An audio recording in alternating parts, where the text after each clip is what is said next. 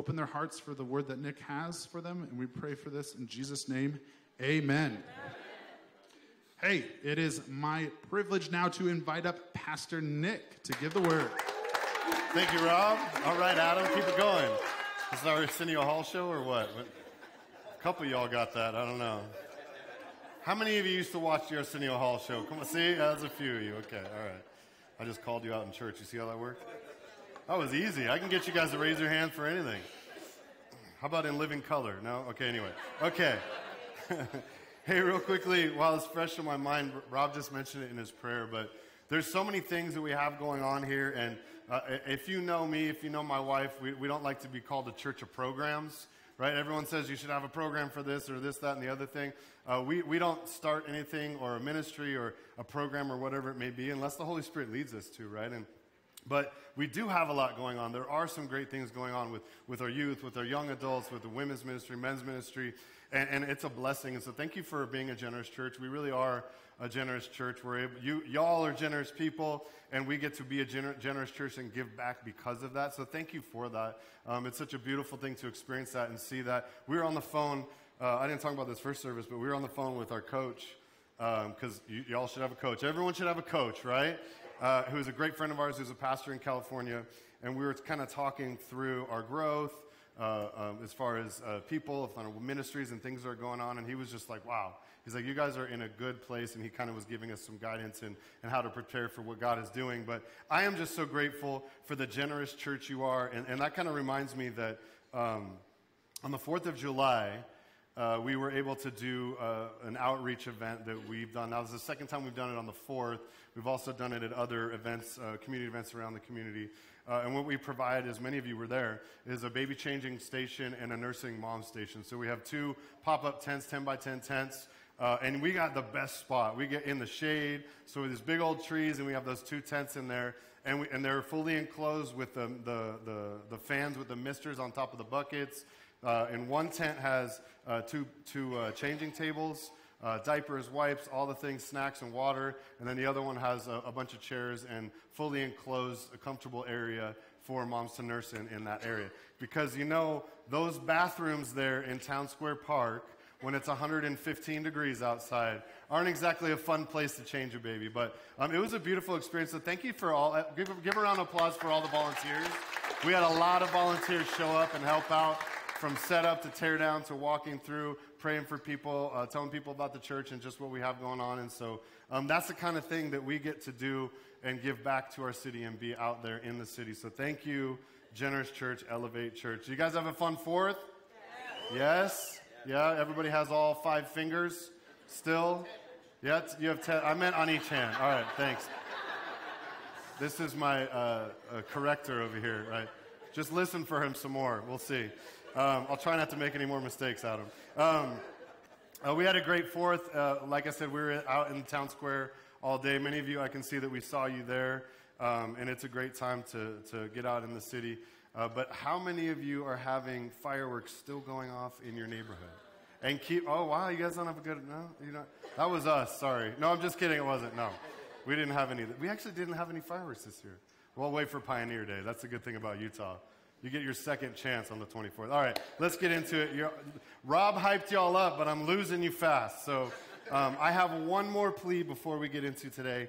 Uh, and we, like I said, we have great volunteers. We have a generous church. We have a giving church. Um, I love our help squad, is what we call our volunteers. But my plea is this there is one ministry where we need a lot of help, and that is the transformation team. What the heck is the transformation team? You can call them Transformers if you want. But uh, many of you know we rent a space from the Seventh day Adventist Church. They own this building. Uh, they meet on Saturdays, and so we're able to meet uh, on Sundays and a lot of times during the week, or midweek worship, all of that, and utilize this building. And we have a great relationship with, with uh, them. But the, the building doesn't look like this on the rest of, throughout the rest of the week, right? We have signs out front, we have our backdrops, we have all our instruments. All of this, a lot of it gets cleared away, our signage. And there's a team that does that. There's a transformation team. So they set up and they tear down. And we need help. We need your help. We have a great team uh, of volunteers on that team. But if you've been thinking, oh, I want to I wanna plug in and maybe once a month I can help out, but I don't want to tell people where to sit because they're going to yell at me. Or you don't want to be a greeter because you don't like to smile. Whatever it is, uh, maybe that ministry is for you. So uh, you can uh, check out online. Oh, you got the you got the um, QR code up there, or you can check in with our Connect table. We'd love to grow that team because we got some ideas, but that's going to need more people. So we would love it if you sign up for that. Okay, let's move on. And if you were here last week, that was a terrible transition, huh, Adam? Was it? Yeah, I'll work on that. So, if you were here last week, we talked, the message title was Freedom in Christ. And the three points that, that I gave to help us remember what we walked through uh, last week was stand firm, don't return, and let love burn, if you remember. What does that mean? Stand firm, standing firm on the Word of God, right? Don't return, don't go back. Don't go back to when you were in dark darkness and in the bondage of sin, the slavery of sin. And let love burn, meaning serve one another in love. And we talked about it's real hard to serve one another in love when you don't know how to be loved yourself. And so, if you were here, hopefully you were able to really let the Holy Spirit move and, and, and talk to you about what that means. Uh, but if you weren't, I want to encourage you just real quickly as we get started in here. Maybe part of what you have going on right now is because you're not allowing yourself to be loved by the Father who loves you, regardless of what your yesterdays were. And so, we have to learn how to be loved in order to love others, which is what we're called to do. And we talked about how you are free in Christ to be fully known and fully loved by our Creator, and that's really good news. Amen? So let's pray as we jump into today's message and see what the Lord has for us today. Father in heaven, I thank you for this day. Lord, I thank you for your plan to reconcile us back unto you. Thank you that you call us sons, that you call us daughters, and that we can live out the freedom in you. Lord, I pray that you speak to us, that you prepare our hearts to give a word in season. Here we are obediently anticipating a word from you. We just lay it at your feet. In Jesus' name we pray. Amen. Amen. All right. Everybody's still awake, right? Okay, good. Front row is. Okay, so so we're starting this series today called Collide. Uh, and, and this is a series. The beautiful thing is it's kind of leading, it's kind of going from last week, even though it's not part of the series, it's leading into, and that's all God, how the Holy Spirit connected this up with this next series that we're walking into. And by collide, what I mean is, since the beginning, the Christian faith has been on a collision course with the culture around us. It's not like we go parallel with the world, right? It is, it is a collision course because the values of the world don't align with the values of our faith, right? And the priorities of the world don't align with the priorities of our faith. And the kingdom of man is not seeking the same things as the kingdom of God. And so we shouldn't be surprised as children of God when we experience conflict or tension, right? We should see the conflict and tension as confirmation that we're doing the right thing, that we are on the right path, we're going in the right direction. And as I was thinking through this, I kind of got a visual. And it's beautiful because we live in a beautiful part of the country where there's a lot of hiking, right? Anywhere from Snow Canyon to Zion to Bryce Canyon and everywhere in between. There's a lot of hiking trails, a lot of opportunity to get out in nature. And how many of you are, would say that you like to go hiking? You know, oh wow, there's a lot, see a lot more of y'all. See, hikers sleep in, I guess. I don't know. There wasn't very many hands at the 9:30, but so y'all can relate. This is good, okay? Um, so we have a lot of hiking trails here, and I want you to think about like a hike that you've been on, and you're going and it's smooth, you've got the firm ground, a good trail, the trail is good, it's beautiful. And then you come to a point, it's been smooth sailing for now, but you come to a point where it's like, oh, this is this is starting to get a little rough. You come into a rough patch on that trail where you have to kind of be careful in every step. Every step needs to be slower, and you have to be careful with each step because you don't know if that next step you're going to roll your ankle or end up on solid ground, right? You've hit that rough patch. And as I was thinking through this, an example to me of the vision that I saw was the Narrows. How many of you have hiked the Narrows, right? So leading up to the Narrows in Zion, you got this perfectly paved, nice 2.2, I looked it up on Google, 2.2 mile path where you're just right? You're just cruising, a little bit of ups and downs. You got the Virgin River to your left. A lot of times it's in the shade. You've got this great foundation, a cemented path all the way. But then you come up to the river where the dead end. No more river walk.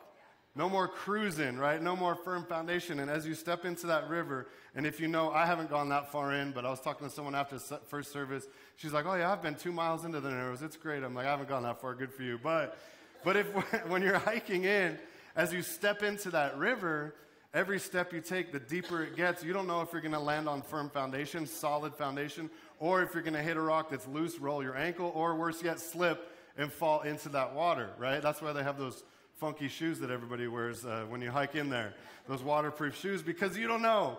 Is it going to be solid or are you going to slip? We don't have an idea of whether we have a firm foundation. And, and I thought about that because these types of hikes or adventures are very much like walking through life trying to depend on worldly wisdom. Taking those steps, not knowing if this is a firm foundation, right? You never quite know if you're going to land on solid ground because worldly principles and values are constantly shifting, constantly shifting. However, what we learn from Jesus is to trust in the Word of God, the eternally consistent teachings of Scripture. And so let's get into Scripture. Our first verse is going to be in Colossians 2, and I'm going to read these words of Paul from verse 8. Verse 8 says this Don't let anyone capture you with empty philosophies and high sounding nonsense that come from human thinking and from the spiritual powers of this world rather than from Christ. And that's important too. I love that I chose this version because of the high sounding nonsense, to be honest. I like the sound of that. But it's, it's high sounding nonsense that comes from human thinking and from the spiritual powers of this world.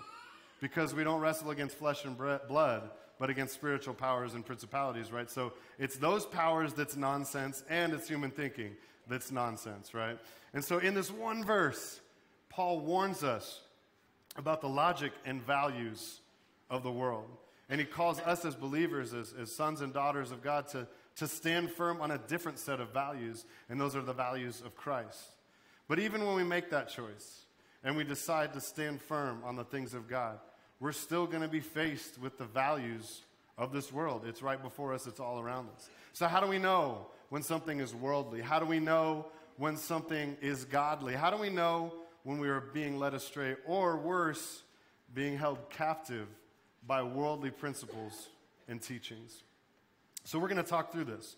And we're going to talk about this in week one of this series, Collide. And today's focus is stand firm. Stand firm. And it's great because, again, like I said, it flows from last week. If you were here last week, one of those very points was stand firm. And this, I can't say that we planned it so well that it just led into this, but that's what, that's what happens when you lean on the Lord, the Holy Spirit works in mysterious ways. So here we are, we're talking stand firm.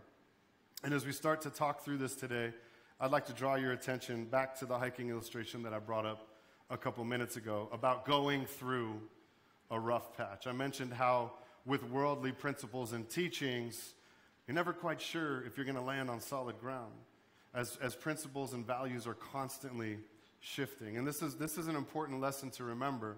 And uh, point one, I have three points during this sermon to keep us on track. Point one is worldly values are inconsistent. Worldly values are inconsistent. And let me help illustrate this point with something that I'm sure all of us here are very familiar with. One of the primary mottos of the kingdom of man, and that is just follow your heart. Follow your heart, right? Thank you, Disney. Follow your, just follow your heart, right? We've all heard that.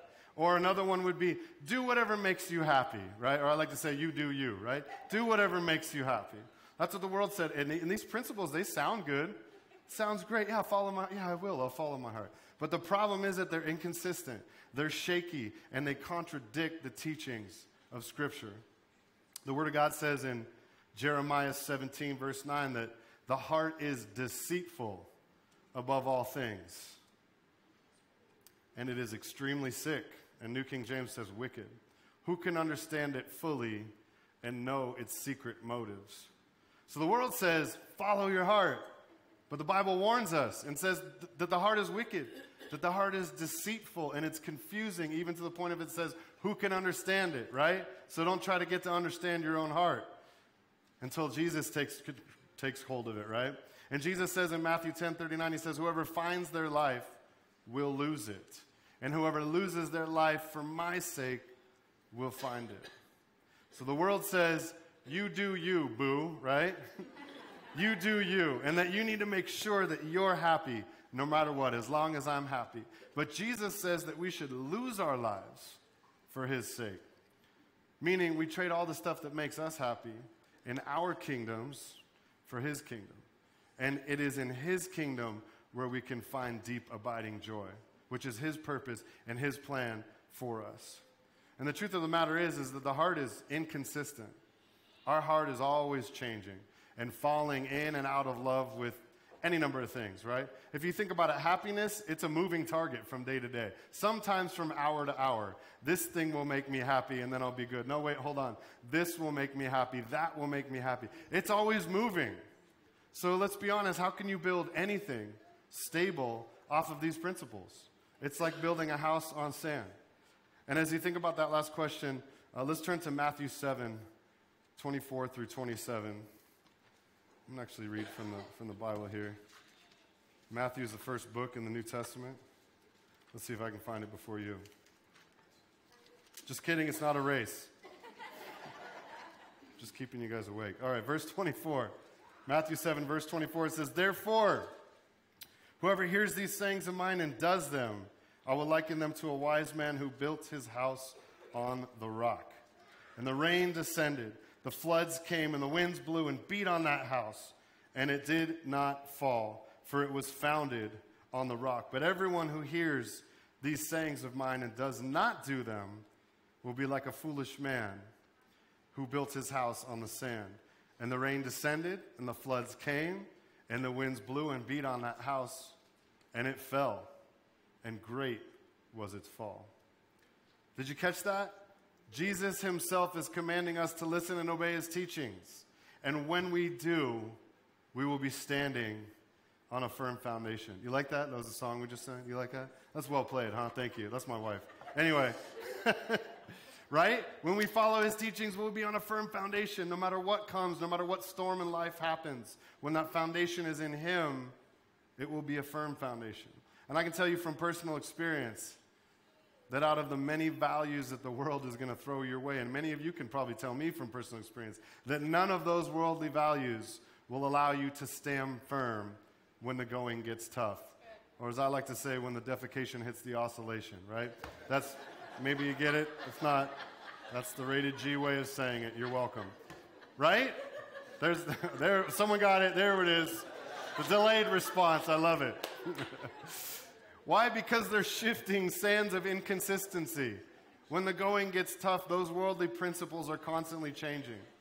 So, why are they so attractive then to us, right? Why does it sound so appealing to follow my heart, to seek out whatever makes me happy? Well, that leads us to our second point, which is worldly values are seductive. Worldly, worldly values are truly seductive. Another word for seductive could be enticing, uh, captivating, or fascinating, or, or many others, right? Either way, the truth is that many things, many principles, many words um, that the world tries to give us and tell us, they can look and sound very attractive when we hear and see them.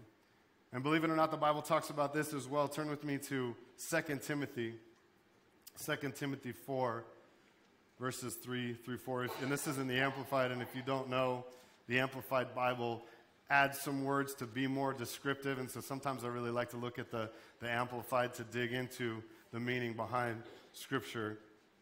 In verse 3 in Timothy 4, 2 Timothy 4 says this For the time will come when people will not tolerate sound doctrine and accurate instruction that challenges them with God's truth but wanting to have their ears tickled with something pleasing, they will accumulate for themselves many teachers, one after another, chosen to satisfy their own desires and to support the errors that they hold. Verse 4 And will turn their ears away from the truth and will wander off into myths and man made fictions and will accept the unacceptable. Really take that in, what Paul's saying. He says in the beginning, for the time will come. Well, guess what? I would say the time is now.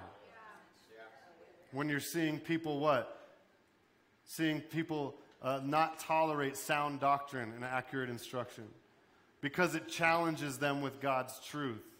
We have to realize sometimes when something hurts, something is challenging, that's a refining and we pay attention and we lean into that, that's when we step into the purpose and the fullness of God. Or we can adjust ourselves just like the world does and say, that doesn't line up with how I want to live my life, so I'm going to go over here instead. And that is exactly what Paul is talking about, right? He knew that many people would spend their entire lives searching for a truth that lined up with their lifestyle. not lining their lifestyle up with the truth. Furthermore, many people reject the truth in Scripture. Why? Because it already contradicts their current lifestyle. They receive something meant to bring conviction and ignore it as useless. And I know you all know what I'm talking about. We see it every day. Here's the truth of the word. I hear it in church. I see a, a, sermon preached on YouTube. It's like, ah, that challenges me. I don't like that. Let's check the next. It says it will, it will collect and stack teachers. Let's try a new teacher and see. I want to stay Christian because I believe in God, but I don't like what that pastor said because it challenges me because of the lifestyle I'm currently living. Let's try this guy. Oh, that one challenged me. Let me try this one over here. You're stacking up teachers of the wrong thing because you're trying to find what lines up with your lifestyle. That's what Paul is saying that's going to happen. And again, I'm telling you, he said, For the time will come. And I, I, I would say, and I'm sure you could agree with me, the time is now. Yeah. The Word of God is being altered, right? The Christian faith is being altered to adjust for lifestyle. And Paul warned about that in 2 Timothy. And so, we, as the body of Christ, as sons and daughters of God, we have to be people who continuously fill our ears and minds with the only truth that we can find in this world, and it is in the pages of Scripture. And I will say, be careful, little ears, what you hear. Be careful, little eyes, what you see. Some people are like, oh, I love horror movies. They're great. It's just, it's just entertainment. Good luck with that. Be careful.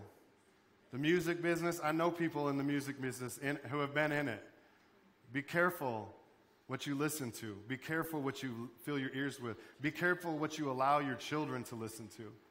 Because music is very influential. I'm sure you've heard this before that Satan was a worship leader. He likes to use music, but also this is I'm going I'm going rogue. But uh, it says that he's the God of the air. And the further you get away from God and you're listening to Look, at, I know we can listen to some secular music, and that's great. I'm not saying like la la la to everything you hear, but be very careful of the root, of the foundation, of the intentionality of that music, of the lyrics, of the person who's singing those music, the words that they're saying. Be careful what you listen to because you will fall into that category that Paul was talking about. But anyway, Satan is the God of the air. The further you get away, distance creates distortion and He's the God of the air. So whatever message is coming to you, He's going to alter it so that it sounds nice. That sounds good. Could, this is good music. I can listen to it. Well, guess what? We're blessed in this time, in this season, because Christian music is pretty dang good.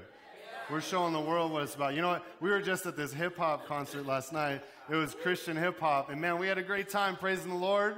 And a couple of different churches and different people from the city gathering together over at New Life Christian Center. It was a good time in the Lord, right? And they were all spitting bars from the Word, right? And it was great. Our, the Gar- our Garcia, the Garcia family. Uh, we had Manny and Liz. Who else was there? David. David and David joined them up there, and it was, it was beautiful, and, and other acts as well. But and it was all exalting His name, and I totally got sidetracked. But anyway, be careful what you listen to. Be careful what you're watching. We have to fill our ears, our eyes, our minds, our hearts with the truth more and more. Otherwise, the volume that the world is sending us is going to drown out whatever truth we have in us. Amen? So we have to be people who are continuously filling our ears and minds with the only truth, and that is the pages of Scripture. And the Bible is full of practical life principles that enable us to, to live the abundant life that, that Jesus talked about. And he talks about it in John 10 10. And he, signif- and he sorry, specifically tells us that this is the goal. He says, The thief comes only to, to steal, kill, and destroy, destroy. But he says that I came that they might, I love this amplified version, uh, have and enjoy life and have it in abundance to the full till it overflows. Thank you, Jesus. That's his plan and purpose for you and me as a child of God. And you know, the enemy hates that. And what the devil can't fully destroy, he will seek to distract. He'll try to steal your time, he'll try to steal your treasure, and he will try to steal your attention. And that's why we have to stand firm on the Word of God. That's why we have to abide in Christ. Like Jesus says in John 15, 5, one of my wife's favorite verses, he says, I am the vine, you are the branches. He who abides in me and I in him bears much fruit. For without me, you can do nothing. Are you trying to do it on your own? Jesus tells us, For without me, you can do nothing. And that's why we need to have daily time in the Word. I know you're all saying, daily? You crazy? I don't have time to read the Bible every day. That's what the enemy says, right? And, and you know what? I get beat up too. I understand the distractions of life. It's hard, but we have to strive for that daily. His mercies are new every morning, starting in tomorrow. Let's try it. Get in the Word. And it's beautiful, this word abide. Um, this is our word, my wife and I, our family's word for this year, abide. Every year we pray and seek the Lord uh, for a word or a phrase or something just to kind of keep us on track and what, he's, what we're believing God for in that year. We do the same for the church. For, for Elevate Church, it's uh, break ground this year. Uh, many of you know that. And for us personally, it's abide. And, and it's crazy because the Holy Spirit has been constantly reminding me throughout this year. God has almost got me hyper aware of, of when I am abiding in Him, but when I am not abiding Him in as well, in Him as well. And when you're not very aware of this, it can actually be a negative if you don't understand that the Holy Spirit brings conviction, not condemnation. So if you feel convicted for not getting in the Word, that's good. Let it encourage you to dive back in. But, but I'm, I'm in the season right now of being so aware of when I'm abiding in Him or when I'm not abiding in Him that I've had some days where I've really beat myself up. Instead of letting the Lord refine me and lead me back to His closeness with Him. And that's a distraction of the enemy. I'll tell you what, you know what he tells me all the time? Oh, you're such a pastor, you didn't read the Bible today. What kind of pastor are you? How dare you not read the Bible? You're no pastor. You can't preach if you didn't read the Bible every day. Every day, I'm dealing with that right now, and I'm hyper aware of it because the Holy Spirit is preparing me for something. So, our word is abide. Abide in Him. John, there's your homework. Read John 15. She wanted me to give you homework. Blame it on my wife. Abide in Him. And I, I'm sorry, abide in me and I in him. And whoever does that bears much fruit, for without me, you can do nothing. So as you learn to point out the worldly values that don't align with the kingdom of God, you also need to spend energy pursuing the values that do align with the kingdom of God. And that leads us to the third point, which is allow the Spirit to guide you. Allow the Spirit to guide. It's not enough to just simply say no to the things and the values of the world. We have to take it a step further and say yes to the things of God. A lot of times in counseling, people will, will tell me that the thing that they struggle with. I'm struggling with A, B, C, D, E, F, G, fill in the blank, right?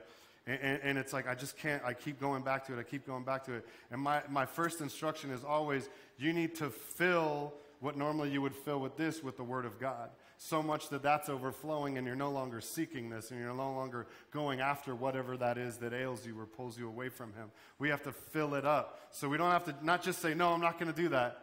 It's like, I'm not going to do that. And let me say yes to the things of the kingdom of God to fill that, right? And Christ gave us the Holy Spirit to be a guide and a strength in this endeavor. In John 14, 15 through 18, he says this Jesus says, If you love me, keep my commandments. And I will pray the Father, and he will give you another helper, that he may abide with you forever. Verse 17 The Spirit of truth, whom the world cannot receive, because it neither sees him or knows him. But you know him, for he dwells with you and will be in you. I will not leave you orphans, I will come to you. Jesus invites us to allow the Holy Spirit to lead us into all truth. Sometimes we're so stubborn. You know that you know. Once you have a relationship with the Lord, the Holy Spirit's leading us every step of the way, and we just decide, mm, uh, eh, this sounds good though. I'm going to go this way for a minute, right? That's just the battle. But once we begin to follow God's lead, we will be able to experience the best life possible, the life that God has purposed us for. And a lot of times, that's not the life that you thought you were supposed to live, but it's His way and it's His purpose. And again, that's where we find that deep, abiding joy that many of us seek. And we will be constantly coming back to the only truth worth standing on at all, one that will never lead us astray. I want to give you a couple of uh, examples of many times in my walk I've had to be very intentional and intentionally seek guidance in God's Word and from godly people that He has placed around me because of what's going on. A lot of times it's a big decision, um, and it always goes with prayer and fasting, I'll tell you that. But, but the first thing is planting a church, right? We, if many of you know the story that, that my wife and I uh, got plugged in when we were dating at this one church, uh, and then our associate pastor there decided to plant another church, and this was all in Southern California. We went, we were two of 12 that went with him. And so from 2010, we started Elevate Church and uh, walked in, in, in volunteer ministry and ups and downs and all the things. And throughout that, we felt the call in 2016 to plant a church in St. George, Utah. And I was like, what the heck is it? Like, what? Like, you know? What are you talking about, Lord? But, but there was confirmation after confirmation after confirmation, and the call was very clear. If you want to know the story, come to Welcome Home in, I don't know what month it is next, but, uh, and, and it, the call was very clear. But what happened is it seemed like everything was coming against us after that spiritual warfare, all of it, the noise of the world, everything. So we sought counsel, we sought the Lord, we prayed and fasted a lot. we had to work hard to block out the noise of the world around us to see clearly God's truth. And the truth was that He was calling us to St. George, Utah. And once we found that and, and walked His ways, I mean, we didn't get out here until 2020 and we, we launched in 22, but, but God led us every step of the way once we got in the firm foundation and were led by His Spirit. Another example is um, in that period, my wife can give a better time frame. I don't remember years, whatever, but uh, there was a time when I was in Bible college and I had to step out of. We, we both for this both worked for this restaurant group. I was general manager in operations, and she was um, training and development. And I realized that those hours and that stress and that job, I couldn't go through Bible college at the same time. And so I went back to hourly work. So I was I bartended my way through Bible college. How do you like that for real training? I learned a lot more in that season. That I can't remember the papers that I wrote, right? But But it was a great season and there was a lot of refining. So, in that, in this season, there was a time when uh, the, there was, uh, I think, 10, 10 restaurants that this restaurant group owned.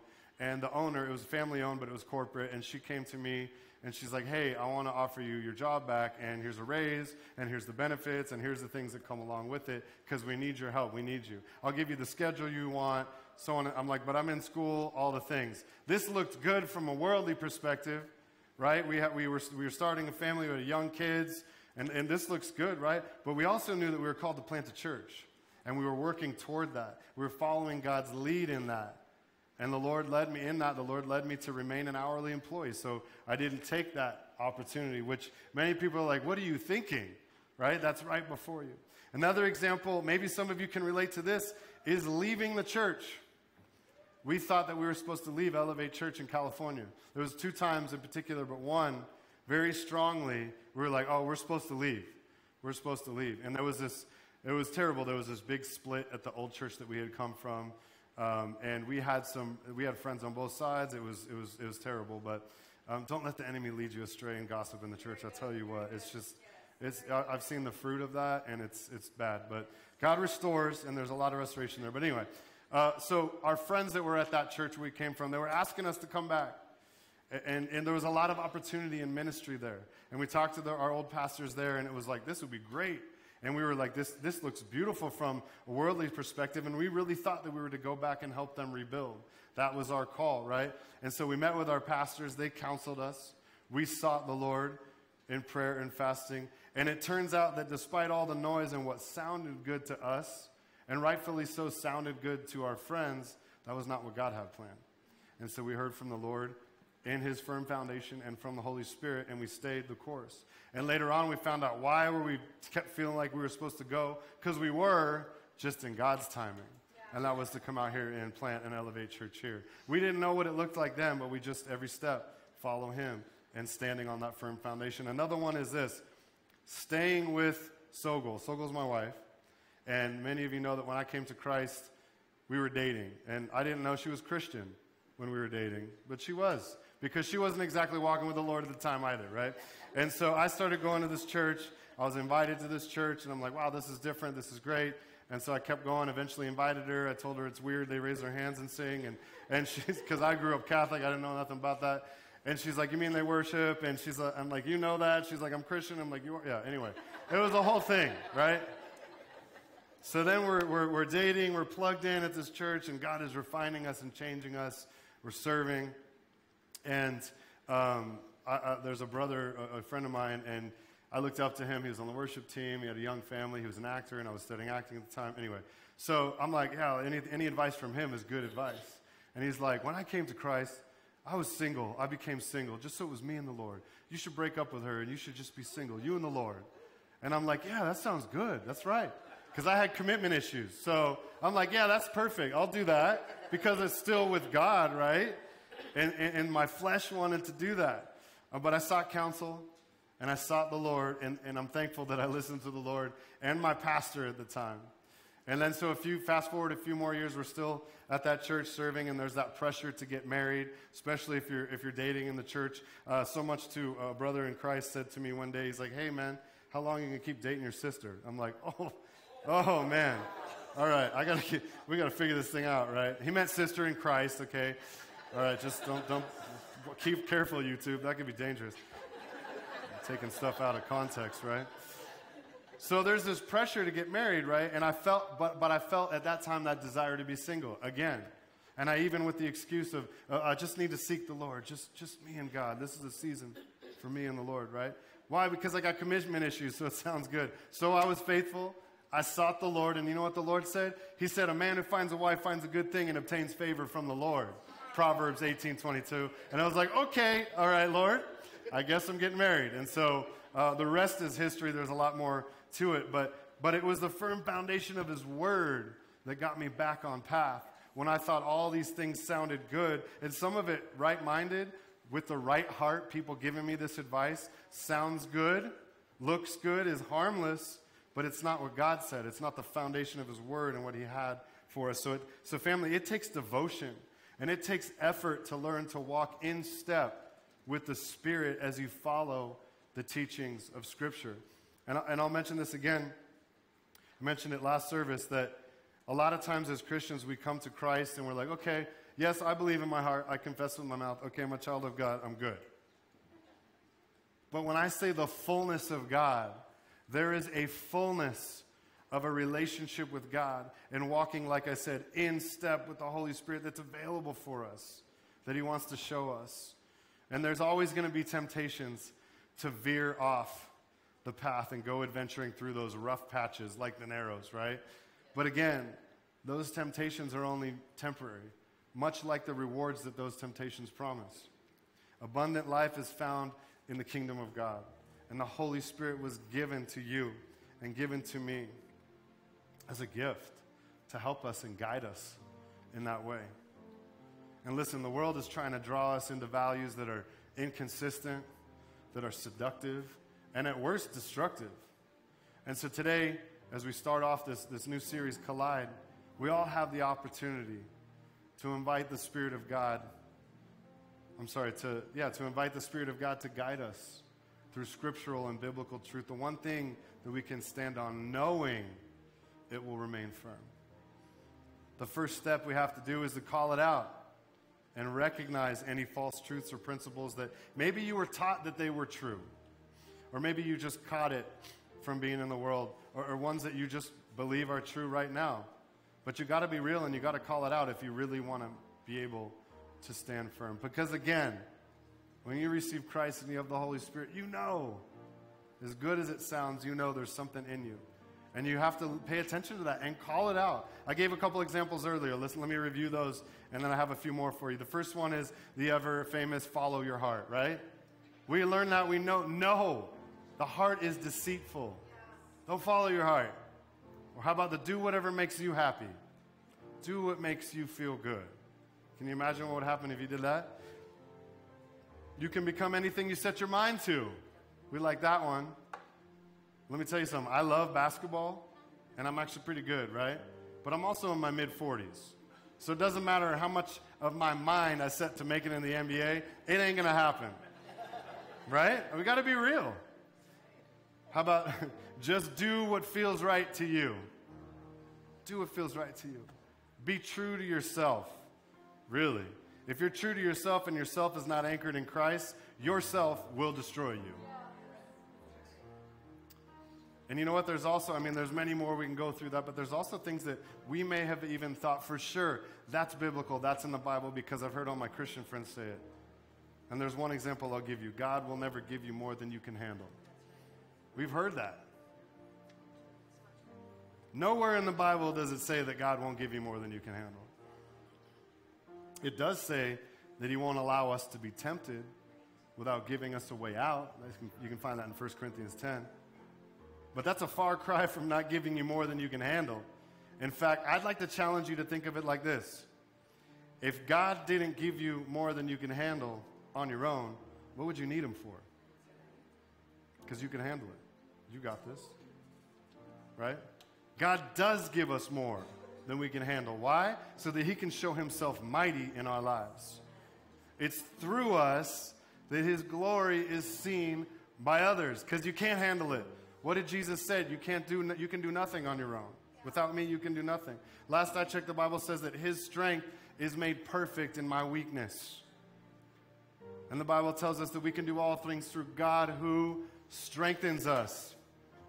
Not I can do it on my own or He won't give me more than I can. No, He's going to give me the strength to get through it because His strength is being made perfect in me. So we have to test all things. Lean into the Spirit. Stand firm on the truth, on the Word of God. And the next step is admitting how enticing and attractive some of these principles are. It does you no good to pretend like they're not. It does you no good to pretend anything, right? Like, stop this fake it till you make it nonsense. Uh uh-uh. uh.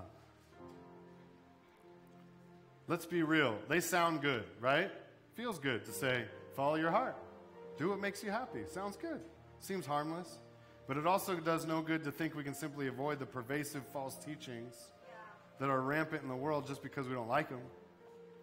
Finally, we got to trust in the Spirit to lead us and guide us into and through all truth.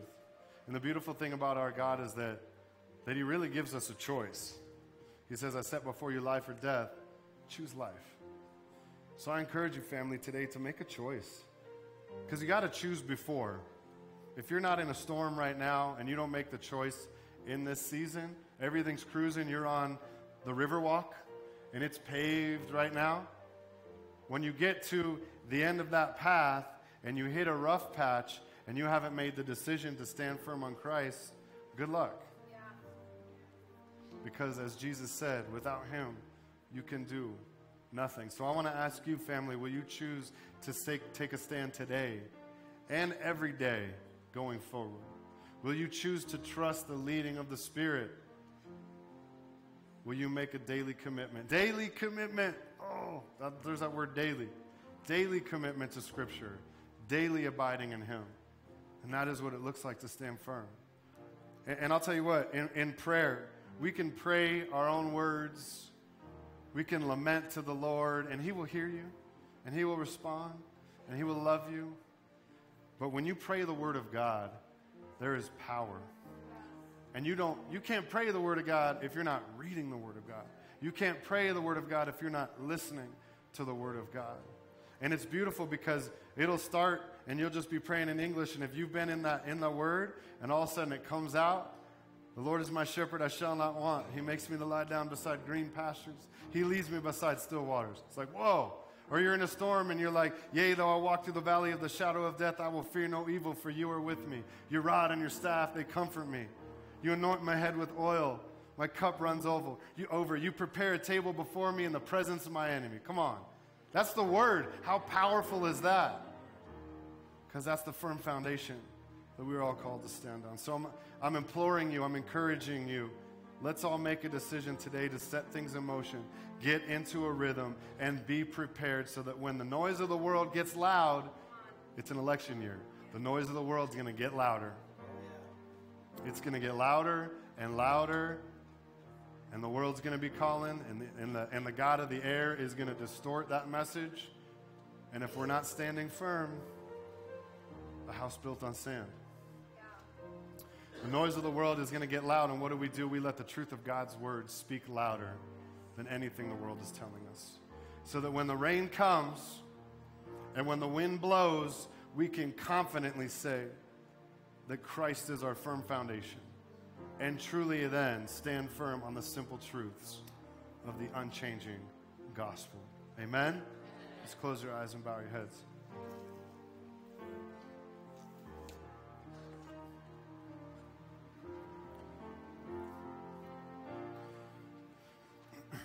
In order to know what that firm foundation is, and that is Christ Jesus, That is His Word. He is the Word. In the beginning was the Word, and the Word was with God, and the Word was God. That's Him. In order to have that firm foundation, we have to have a relationship. The Bible says that when you believe in your heart and you confess with your mouth that He is Lord, that you will become a child of God. And as a child of God, you have that relationship, you have that guidance, you have the Holy Spirit to guide you, you have the firm foundation. When you open the Bible and read it, before you give your heart to the Lord, before you repent and you really have a relationship with God, it probably reads like a history book. When the Holy Spirit is in you, it speaks, it leads you, it is a foundation. And if you don't have that, if you feel like you don't have that, you don't have a personal relationship with Jesus Christ, uh, as a church, every, every day we say this prayer together. Number one, as a reminder to our relationship, of our relationship, but also so we know we have that firm foundation. So if you don't have a personal relationship with Jesus and, you, and you're saying, you know what, today's a day, I want that firm foundation. I want a relationship with the Lord. And what does that mean? It just means you're saying, yeah, He's right. I can't do it on my own. I want to do it with Jesus. If that's you, just really quickly raise your hand in the air so you're saying to God, That's me. You know what, Lord? I, am sick of trying it on my own. I see that. See those hands. That's awesome. Beautiful. Amen. You can go ahead and put your hands down.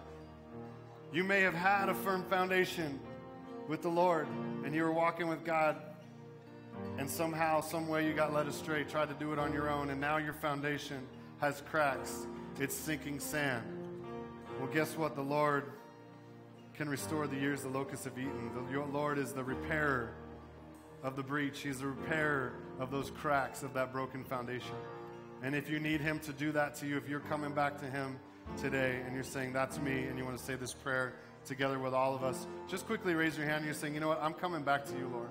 I need that firm foundation right now in my life. If that's you, just go ahead and raise that hand and, and you're telling God, That's me. Amen. It's beautiful. See those hands. You can put your hands down. Father in heaven, thank you, Lord. Thank you for your plan. Thank you. You are such a loving God. Such a loving God that you welcome us to you with open arms. That you give us free will. You give us a choice, but you say, choose life. And Lord, you saw those hands choosing life today. So I pray blessing upon them, Lord. I pray that you give them heart and a hunger for you and your word, a desire to stand on a firm foundation in a relationship with you, a hunger for your word. And the Holy Spirit, lead them and guide them into all truth. And Lord, we say this prayer unto you as your body, as, as your sons, as your daughters, as the family of God, declaring that truth. Church, if you would repeat after me, say, Jesus, come into my life, be my Lord, be my Savior. I give you my life. I believe in my heart and I speak with my mouth that you are Lord, that you died for my sins, that you rose from the dead, and you are seated at the right hand of the Father, interceding for me. Thank you, Lord, for not giving up on me. I lay my life at your feet. Lead me in your way. In Jesus' name, amen, amen, and amen. Amen. Family, give the Lord a hand clap of praise. Amen. You go ahead and stand to your feet. And we're gonna we're gonna finish this service with uh, a great song called "Firm Foundation." You may have heard it about 30 minutes ago. 35. And I love I love how it says just what we said. Rain came, wind blew, but my house was built on you. I'm safe with you. I'm going to make it through. And this song also says, He's never let me down. He's faithful in every season. So why would He fail now? He won't, right? Guess what? When we sing that song, it's not just a fun song. When I say, Be careful, little ears, with you, what you hear, we're singing the Word of God. That's scripture that we're singing. And so we're going to sing and finish out the service with this last song. If you raise your hand, all of you, prayer is available to you. But if you raise your hand, I encourage you, I implore you, anytime during this song, step out of your seat. We have our prayer team at either side of the front of the sanctuary, ready, prepared, and willing to pray with you, to pray over you, to stand in agreement with you. You may have questions, they can answer those. You may need a Bible, we can provide that for you. Please see our prayer team. They've been waiting, anticipating, and ready to pray for you. You know, again, the Holy Spirit leads us into all truth. And prayer is God's design. And so you know if the Lord is pulling on your heart to receive prayer, I encourage you to receive prayer anytime. You can even go now if you want to step out of your seat and see our prayer team and get prayer. Family of God, let's sing this unto the Lord. Go ahead and raise your hand, lift a hand to heaven. Father in heaven, thank you, Lord. Thank you for your goodness. Thank you that you are a faithful God. You are not a God who denies us. You're not a God who turns his head from us. You listen, you hear when we cry unto you. And here we are obediently crying unto you. Here we are obediently saying, Change me, lead me, guide me into your firm foundation of your word. Holy Spirit, I pray that you fill us to overflowing, that you give us eyes to see, ears to hear, and a heart soft and open and available to be led by you. God, I just pray for each and every one of us in here that we have a hunger to make time, to set aside time to be in your word. And I pray, Lord, that as we are faithful to do that, as we are obedient to do that, that the words, the, pa-